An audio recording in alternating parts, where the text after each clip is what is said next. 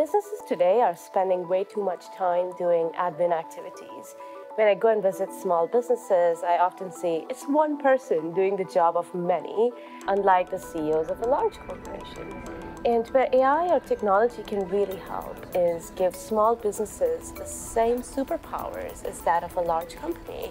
Now, AI can take care of a lot of mundane tasks, administrative activities like chasing your customers for payment or helping you sort out your expenses and receipts, managing supply chain, so that the humans, the entrepreneurs and the small business owners can focus on the human element, which is building relationships with customers or getting to know their, their services and products better. AI is a self-learning technology. It's kind of like how babies learn when they grow, they see the world around them and they see experiences and they evolve from that.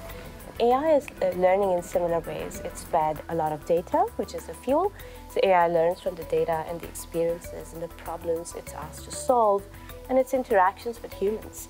Kind of like if you have an Alexa or a Siri at home, you're talking to it and, or autocorrect, and every time you talk to it, it learns.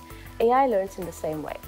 The fear comes in when we, we worry that the AI will learn from bad sources or it will learn bad values or ethics or behaviors. And this is why it's very important to make sure that AI, the way it's created, is done in an ethical way. Not every robot needs to look like a Hollywood humanoid stomping around destructing cities. Robots in reality are just software or, or hardware that is there to do repetitive tasks. And, and when you think of AI, don't always think of a big robot in a Hollywood film when you think of AI, think about when you search on Google and AI is deciding what you see. When you log into Facebook and AI is deciding what you see there.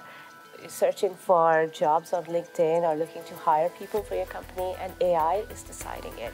Or when you run an ad campaign, a digital ad campaign, and AI is deciding um, who, who's the best customer to see this information and at what time already in your software for your business, you're probably using a lot of AI to drive automation. So it's here, right here, every day in our, in our lives, all around us, and that impact is only going to grow.